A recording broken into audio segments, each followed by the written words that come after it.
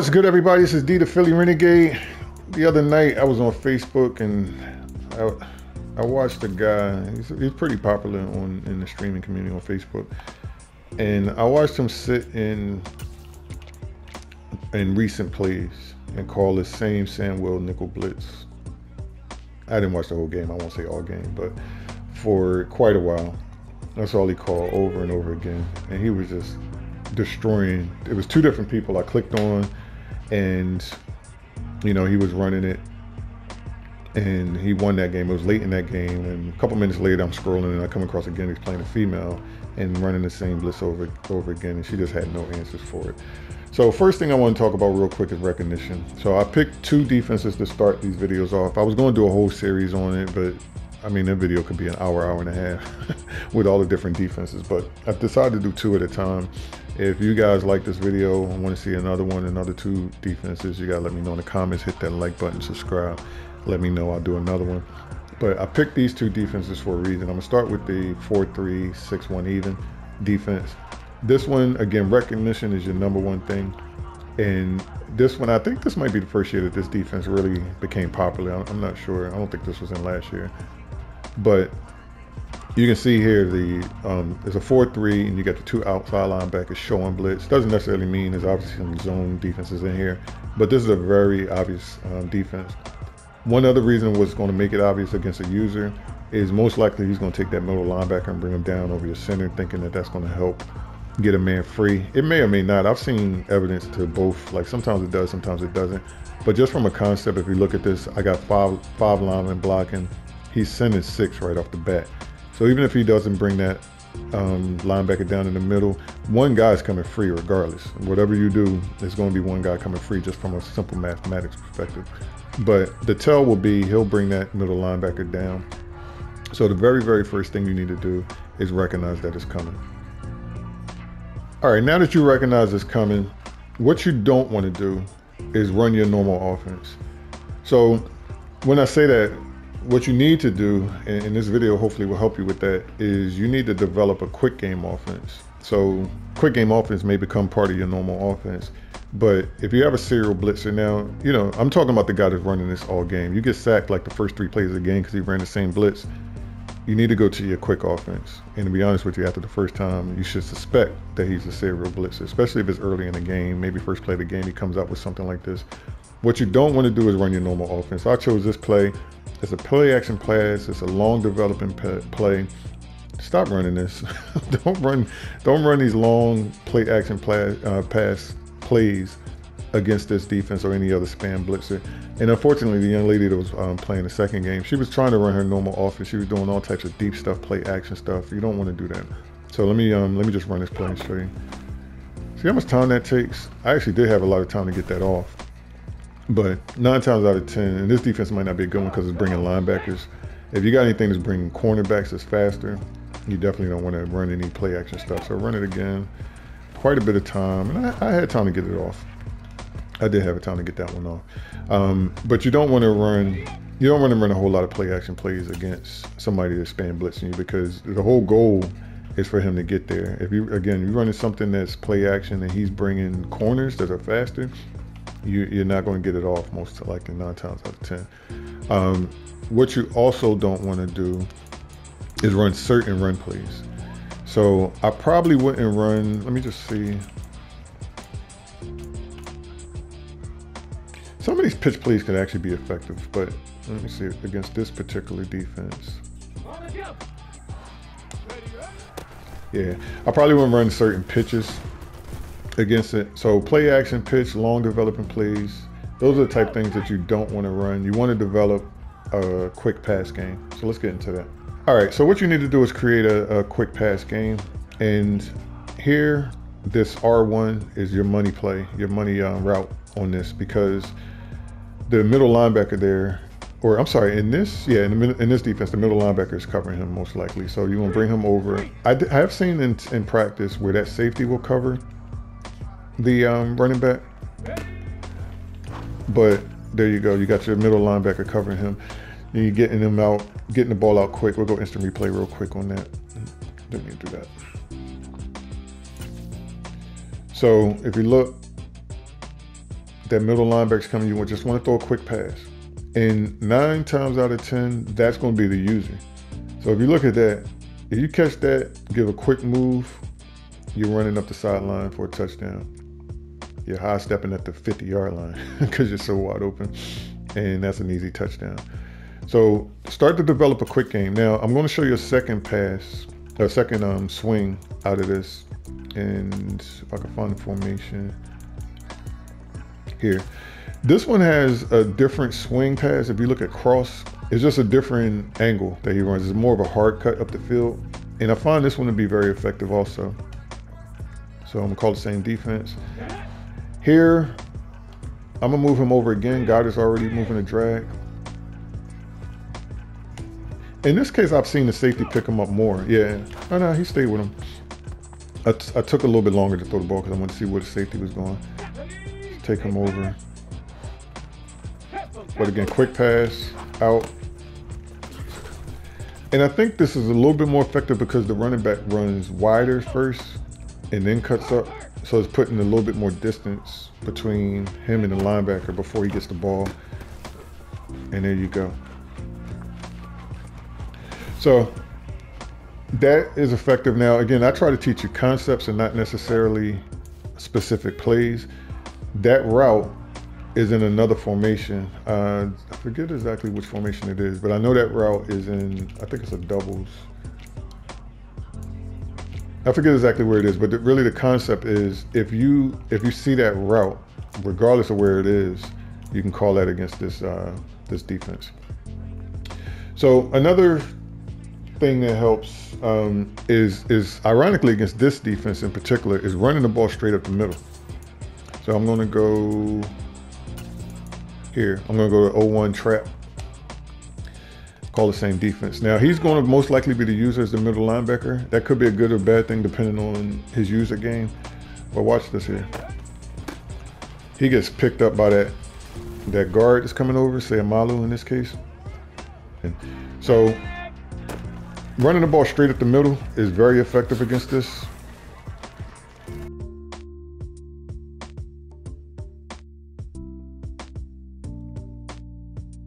But look how wide open that is.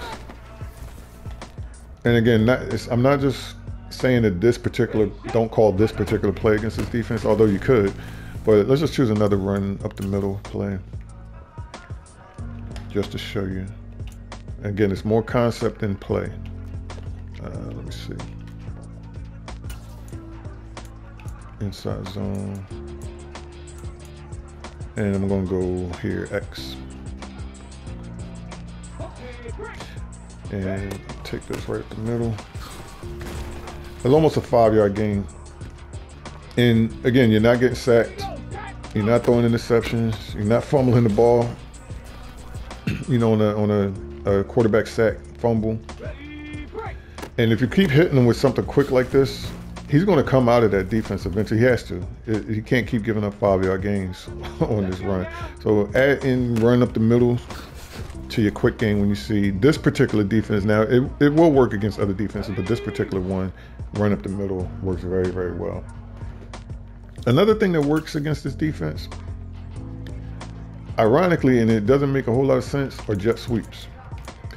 I'm going to call one in particular, and it's the single back bunch tight end jet sweep. Now, again, I said I don't want to show you particular plays, but I'm going to tell you why this one works, and you can adapt it you know, to other plays that you may have in your playbook. The reason why this one I think works is because if you think about it again, it's man, it's man coverage. And with everybody being bunched on the left side, you coming across to the right, you just have left less defenders on the right side. Now, normally what I would do is I would make Quez Watkins the um, the end around receiver there, the jet sweep receiver. Right now I got AJ Brown, but it's going to show you how effective this is because AJ Brown's still going to get out. One on one, he's going. And I'm gonna instant replay this because this is why it makes no sense that this works. If you look at that outside um, linebacker that's supposed to be blitzing, one, he drops back, and then two, he commits to the handoff. so, so he's out there, and he could have easily made the tackle, but he commits to the handoff inside the play action. So I'll run that again, and you can see it. So what you want to do to do this, you want to continue that outside arc, keep straight down.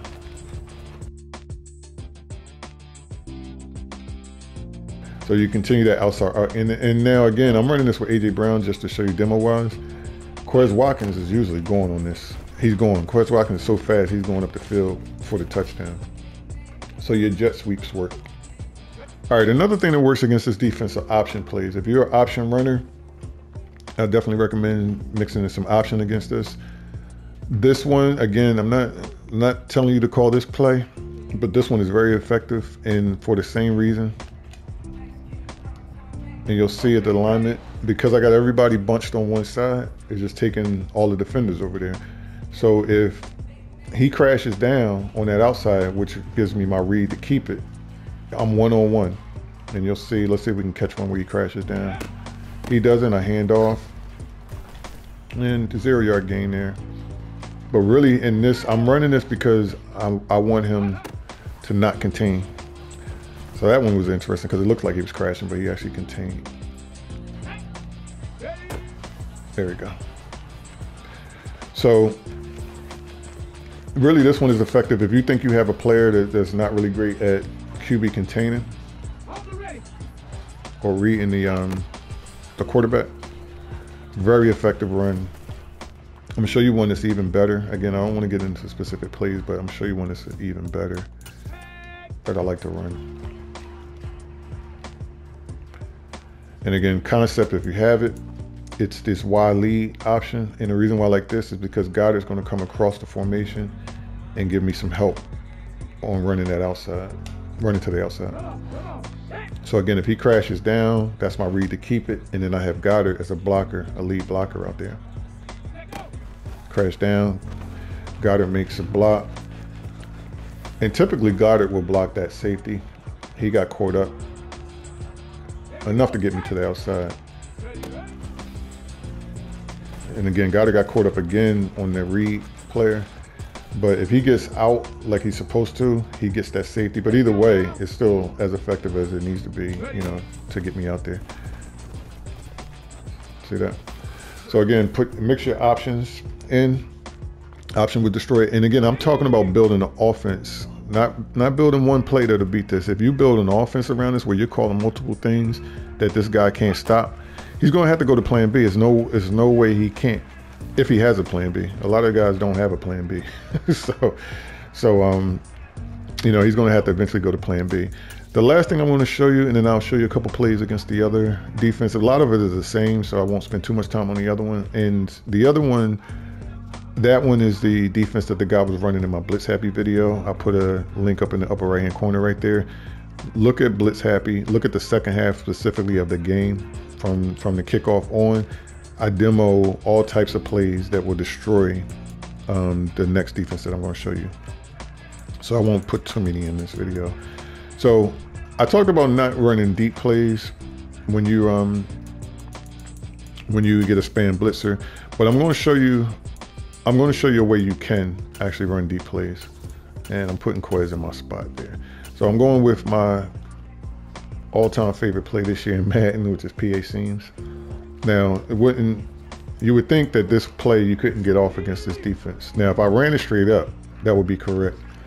But I make a couple adjustments that's going to make this play deadly against defense. And the Bills have a good safety back there, but you'll see I'm, I'm going to be able to complete this uh, at a pretty high percentage against this defense. So the first thing you want to do, you want to cancel your play action. If you don't know how to do that, it's triangle your play action um, user, which is R1, and an R2 to make him pass block. Or you can just swing him, you can do whatever you want, but in this case, I, I need him to pass block.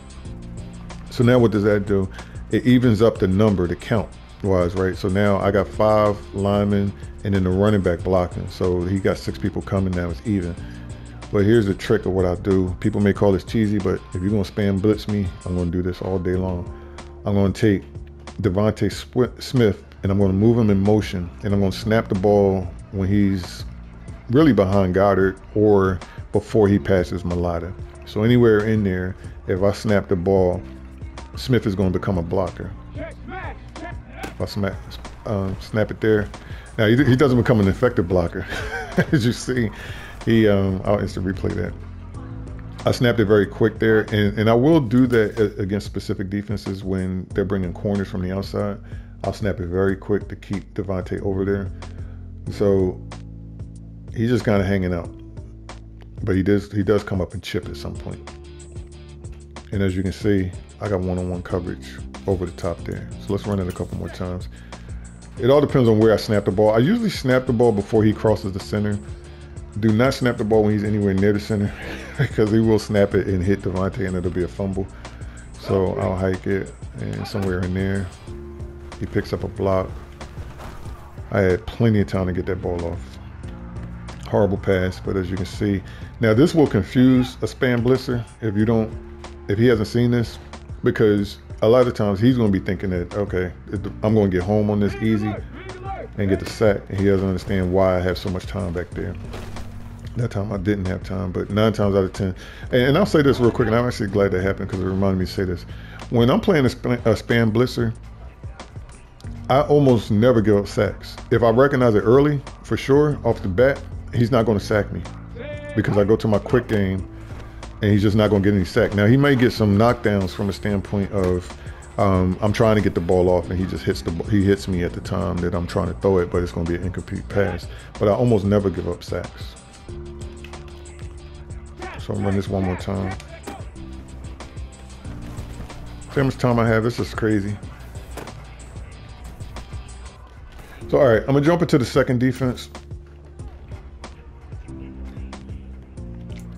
And um, I'm gonna go back to options because again, most of it is the same, but it's a particular option play that I like to run against this defense. And it's this speed option, the X there.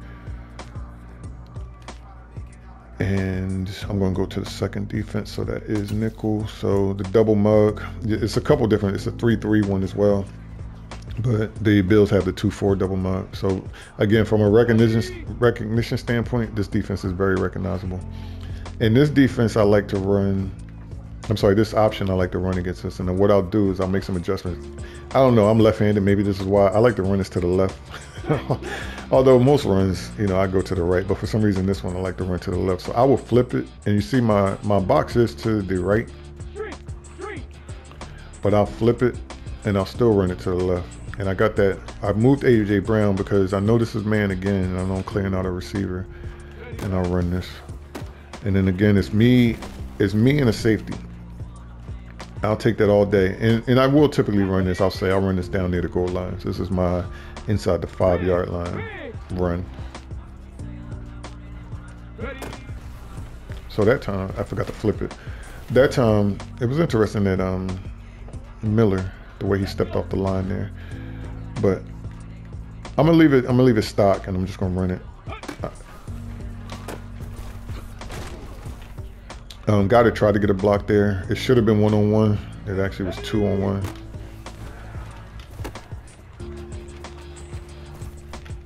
That was about a five, six yard gain. Run it stock again. One or two yard gain. But again, it really, I really like to flip this.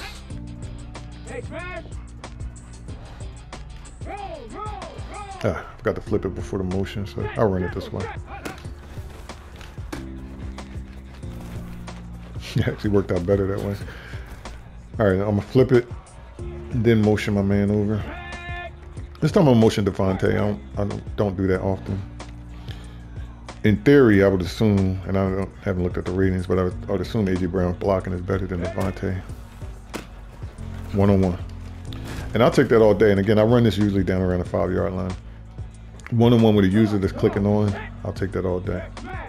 I'm gonna run a stock moving DeVonta this side. Not bad. 10 yard game. So okay, so just again to recap the, the concept against this particular defense, I'm gonna run some of the same plays over again. So back to the mesh. Bring DeVonta over. Now this one, I'm gonna show you why he was so wide open. And this this is not realistic for practice.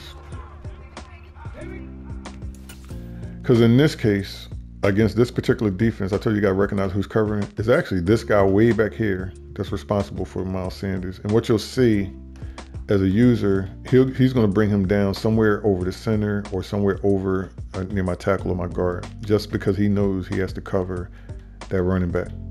So in practice mode, this one is not that realistic because as you can see, that safety, he's nowhere near Miles.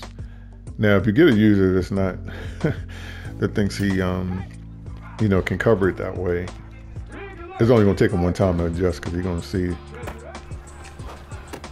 easy money.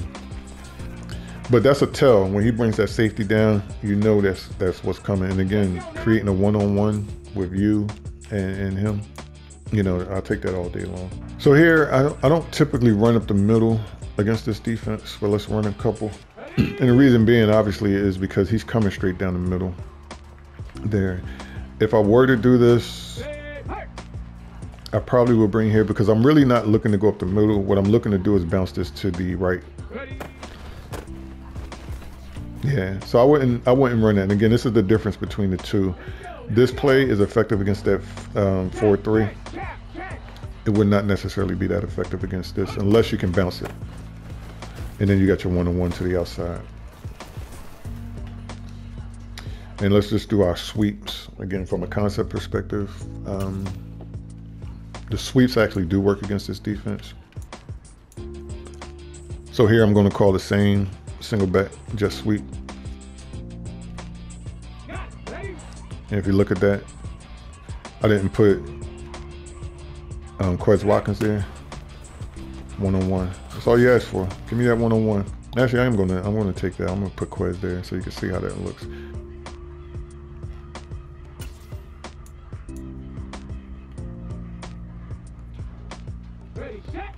All right, so now I got Quez Watkins in that spot.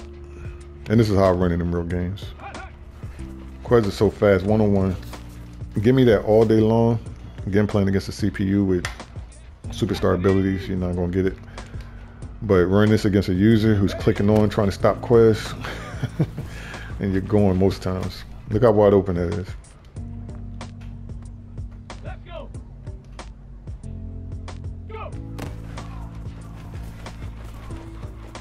all day.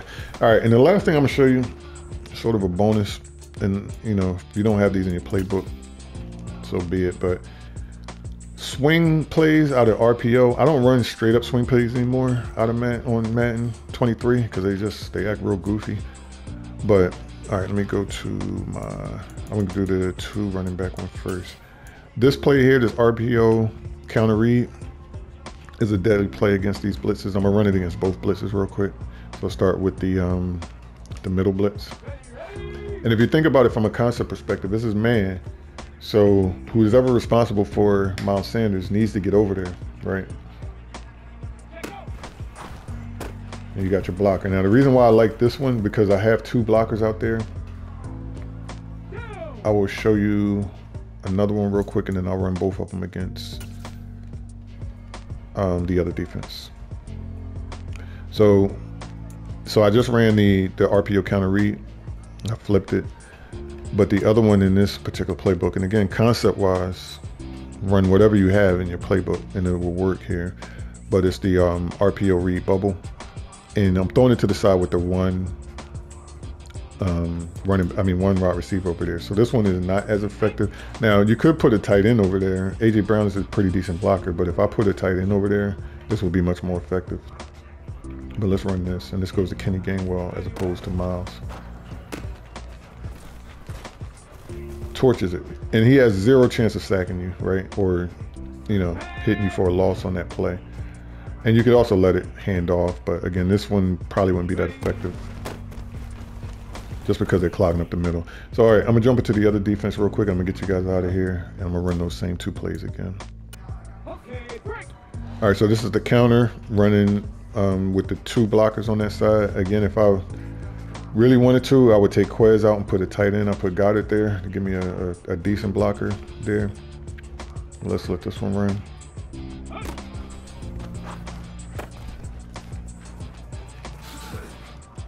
He has zero chance of sacking me. Positive play there. And then I'll run the other one.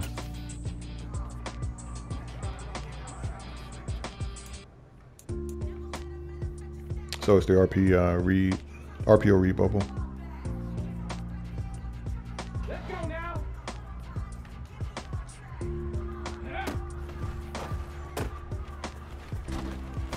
Yeah, I like the other one because of the two blockers, but again, it's, it's very effective play. No chance of sacking me. Highly, um, a very high percentage play. And if you run that down closer to the goal line, you're going to get a lot of touchdowns off of that. So that's it. The, the main concept, just kind of backing this up, is to develop a quick game. Develop a quick game against somebody that's running the same you know, defense over and over again. And again, the video that, that inspired this, or this video was already playing, but this that inspired me to get up and actually start recording it was that video I watched the other day on Facebook. It was ridiculous. He just ran the, the 6-1 even all game long. Develop a quick game, and as soon as you see somebody blitzing um, all the time, just go to your quick game. And and that's I've showed you a lot of different concepts because I don't want you to just run one play against it. Then you become a spammer, a serious spammer, which, you know what, if he started it, then so be it. But anyway, add all of these concepts into your into your quick game because you're going to get him out of the out of it faster. And if he doesn't come out of it, then you know you got several plays that are going to beat him in the clutch. Now, if he has a good offense and he's um he's able to just to keep pace with you, you're going to score for four, score for score. You know you got several different plays in your arsenal to to run against him. So that's pretty much it. Philly Renegade. I'm out. If you've learned something, please hit that subscribe button. Share this video. If you um, know somebody that has trouble struggling against these blitzes, share the video with them. Check out Blitz Happy. You need something. I got two more that I got in the queue if you guys give me some comments and likes, let me know that you enjoyed this video. I'll put that together as well. I'll talk to you later. Peace.